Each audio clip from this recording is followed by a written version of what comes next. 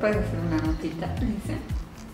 Las actividades deportivas que se estarán realizando el próximo miércoles 6 de abril, Día Mundial de la Actividad Física.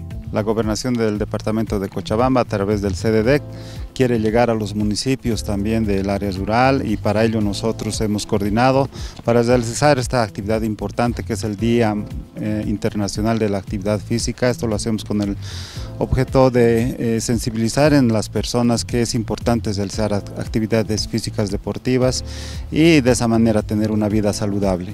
Con el objetivo de sensibilizar a la población que el deporte es salud y viviendo una mañana con actividades recreativas para todos los presentes y agradeciendo al gobierno municipal de Vinto por realizar este evento en predios del estadio municipal. Con el fin de integrar los municipios del Valle Bajo, el próximo mes tenemos un Día Internacional del Desafío y lo vamos a realizar aquí en el Félix Capriles, también con la participación de las instituciones públicas, privadas, civiles, policiales, militares y para ello, bueno, estamos trabajando en coordinación con ellos. El Servicio Departamental de Deportes trabaja para el desarrollo del deporte cochabambino. Gobernación de Cochabamba. Unir, trabajar y crecer.